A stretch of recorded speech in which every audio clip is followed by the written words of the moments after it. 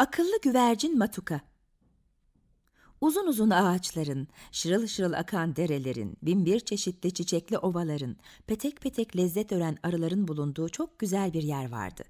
Burada kuşlardan tutun da yırtıcı hayvanlara kadar pek çok canlı yaşamaktaydı. Bunun için olsa gerek avcılar özellikle bu güzel yerde avlanmayı tercih ederlerdi. İşte bu diyarlarda bir de çaylak kuşu yaşamaktaydı. Çaylak kuşu kendisine her günkü gibi yüksek bir ağaç seçmiş, ağacın tepesine konmuş etrafını izlemekteydi. Keyfi yerinde şarkılar mırıldanırken kendisine doğru yaklaşmakta olan bir adam fark etti. Adam telaşla ağaca doğru ilerlediği için çaylak daha yüksekçe bir dala kondu. Sizce daha sonra ne olmuş olabilir? Süre sonra yaklaşan adamın bir avcı olduğunu anladı. Adam ağacın altına bir tuzak hazırladı ve üzerine kuş yemi serpti. Ardından bir kenara çekilip saklandı. Çok geçmeden on güvercin geldi.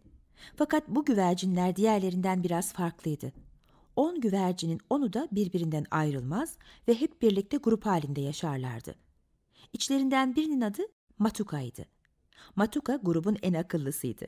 Bu yüzden diğerleri her zaman onun sözünü dinlemeye gayret ederdi. Gel gelelim güvercinlerin karnı öyle acıkmıştı ki Matuka'nın uyarısını duymuyorlardı. Bundan sonra kuşların başına ne gelmiş olabilir? Yanı başlarındaki yemlere yöneldiler. Matuka onlara, körü körüne bu yemlere saldırmayalım. Acaba bu tanecikler tuzak için serpilmiş olabilir mi? diye seslendi. Ama diğerleri onu duymamışlar, belki de dinlememişlerdi. Gözleri yemlerden başka hiçbir şey görmeyen güvercinlerden her biri yemleri yemiş ve tuzağa yakalanmıştı. Ne yazık ki Matuka da tuzaklardan kendini kurtaramamıştı. Bu duruma çok üzülen Matuka arkadaşlarına şöyle dedi. Matuka arkadaşlarına ne söylemiş olabilir? Ben size acele etmeyelim demedim mi? İşte maalesef korktuğum şey başımıza geldi. Bu sözlerin ardından o da arkadaşları gibi pişmanlık ateşiyle yandı, hayıflandı, durdu. Üzüntünün bu duruma bir faydası olmayacaktı elbette. Güvercinler üzüle dursun, avcı daha önce bu kadar avı bir arada yakaladığını hiç hatırlamıyordu. Bu yüzden oldukça mutluydu. Büyük bir sevinçle saklandığı yerden çıktı. Kuşlara doğru hızla yürümeye koyuldu. Kuşlar avcının yaklaşmakta olduğunu fark ettiler. Sağa sola kaçmaya çalıştılar fakat çırpınmaları nafileydi. Kaçma çabalarının hiçbir faydası olmadı. Bir türlü tuzaktan kendilerini kurtaramıyorlardı. Öte yandan Matuka, çıkmadık candan umut kesilmez düşüncesiyle aklını kullanmak istiyordu.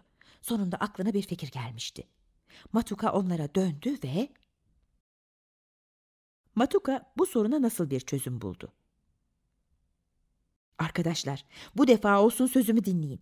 Eğer beni dinlerseniz bu avcının elinden kurtulabileceğimizi umuyorum. Diğer kuşlar bu kez Matuka ne derse yapmaya hazır olduklarını ifade ettiler. Matuka onlara fikrini anlattı. Hep birlikte kanat çırpalım. Kanatlarımız bir olduğunda hepimizin gücü birleşir. Belki böylece tuzağı yerinden kaldırabilir ve uçabiliriz. Arkadaşları bu fikri çok yerinde buldu. Avcı nasıl olsa hepsi tuzağıma düştü, bir yere kıpırdayamazlar diye düşündüğünden tuzağa doğru yaklaşınca yavaş yavaş yürümeye ve gülmeye başladı.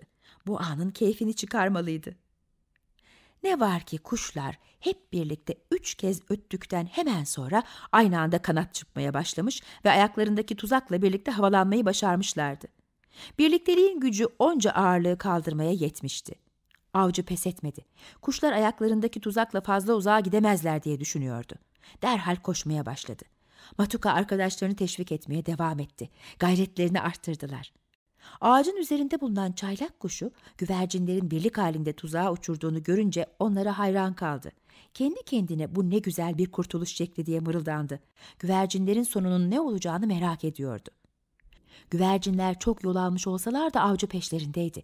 Matuka ileride bir ormanlık alan olduğunu fark etti ve hemen yönlerini oraya doğru çevirmelerini söyledi. Böylelikle avcının görüş alanından kurtulacaklardı. Avcı ormanda onları bulamazdı. Çaylak kuşu güvercinlerin kurtuluşuna sevinmişti ama bu kez de ayaklarındaki tuzaklardan nasıl kurtulacaklar acaba diye merak etmeye başladı. Neslihan Beyhan